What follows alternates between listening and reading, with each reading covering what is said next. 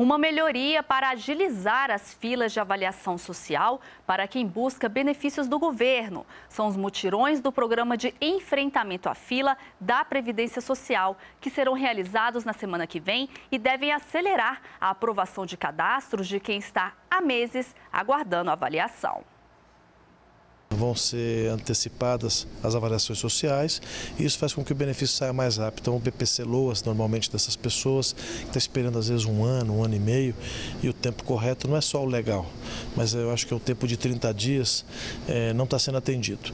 Então é, esses mutirões são um esforço adicional do INSS para tentar aliviar um pouco aí as dificuldades dos brasileiros.